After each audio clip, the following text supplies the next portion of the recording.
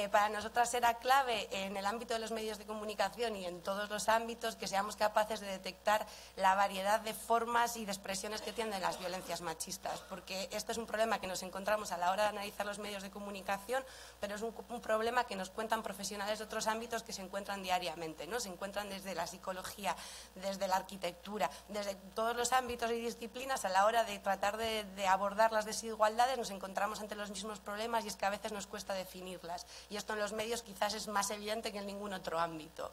Nos encontramos que los medios de comunicación hablan poco de violencias machistas, bueno, quizás últimamente un poco más, pero en proporción a todos los temas que se tratan se habla poco, se habla mal, no se cuenta con expertas y desde luego siempre se reduce la violencia a una forma muy específica de ejercerla. ¿no? Y, sabemos, porque, porque nos lo ha explicado el movimiento feminista, que la violencia machista es, es algo que abarca todas las esferas de nuestras vidas y que se, se manifiesta de maneras muy distintas.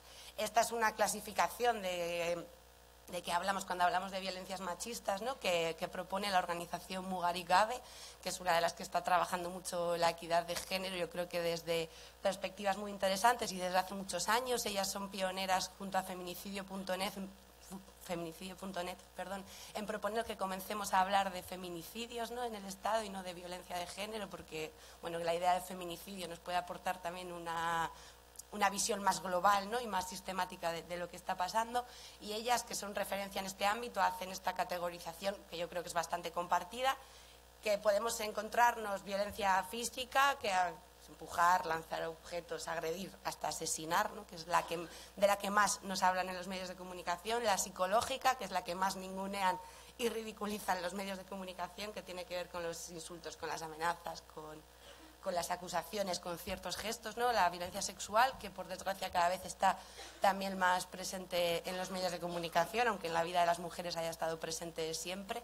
Parece que, que tema en los medios o espacio en los medios lo tiene desde hace relativamente poco. La violencia social, que tiene, que quizás la más habitual, yo creo que todas lo hemos visto en algún momento, es eh, esta forma de hacer tanto daño que es de despreciar, de ningunear, de hacerte sentir que que no estás en tu espacio, ¿no? Y eso nos ha podido pasar en el ámbito de la pareja, pero yo creo que a las mujeres nos ha pasado en muchos otros ámbitos, la violencia económica y luego quizás las que tienen más presencia en los medios de comunicación o las que mejor podemos analizar en clave de medios de comunicación o de periodismo son la violencia simbólica y, y la violencia estructural, ¿no? que, que se mezclan quizás un poco.